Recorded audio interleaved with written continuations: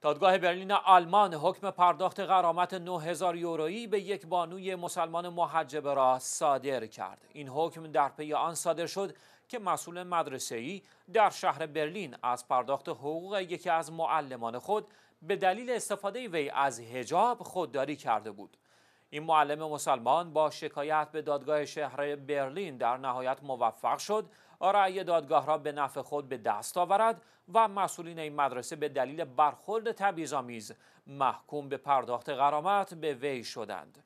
تعدادی از سیاستمداران و اعضای مجلس آلمان با استقبال از حکم صادره آن را آغازی برای اقدامات بیطرفانه و منصفانه برای شهروندان آلمانی برشمردند و جسارت و جرأت قاضی صادر کننده ی حکم را تحسین کردند.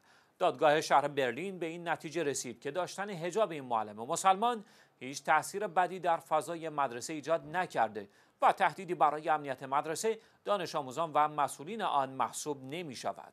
شایان ذکر از طبق قانونی موسوم به قانون بیطرفی معلمان، نیروهای پلیس و کارمندان سیستم غذایی در آلمان حق استفاده از لباسهای دینی و نیز حجاب را در فضای محل کار خود ندارند.